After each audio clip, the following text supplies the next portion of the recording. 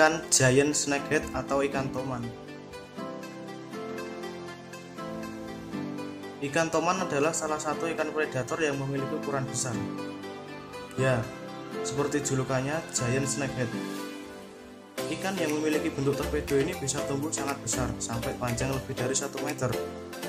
Sehingga ikan jenis ini menjadi spesies terbesar.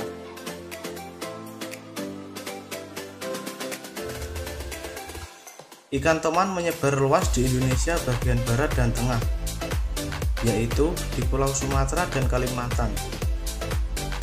Beberapa tahun terakhir, ikan ini juga ditemukan di perairan di Pulau Jawa. Di mancanegara, toman juga ditemukan di daerah Malaysia, Thailand, Laos, Vietnam, India, bahkan Myanmar.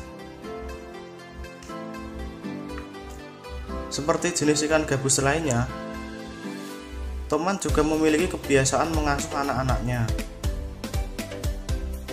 Induk Toman sering kali berenang di sekitar kelompok anak-anak Toman yang masih kecil dan tidak segan-segan menyerang pengganggu yang bisa membahayakan anak-anaknya, termasuk manusia.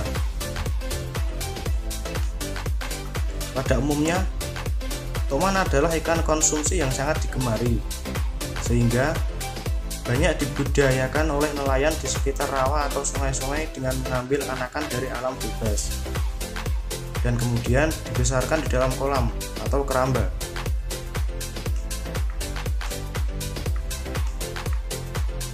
Toman juga menjadi target menantang bagi pemancing. Sifat agresifnya memberikan sensasi yang luar biasa saat umpan mendapat sambaran dari si toman. memasuki musim kemarau adalah saat yang tepat untuk menjumpai si teman di spot-spot pancing karena teman lebih aktif di satu titik selain sebagai ikan konsumsi Toman juga termasuk ikan yang sering dipelihara oleh para penghobi ikan predator. Bentuk dan corak toman terbilang cantik serta sifat predator menjadi daya tarik tersendiri bagi penggemarnya. Sehingga permintaan pasar ikan ini selalu tinggi. Biasanya, ukuran yang kecil lebih disukai karena penyesuaian akuarium dan permudah adaptasi.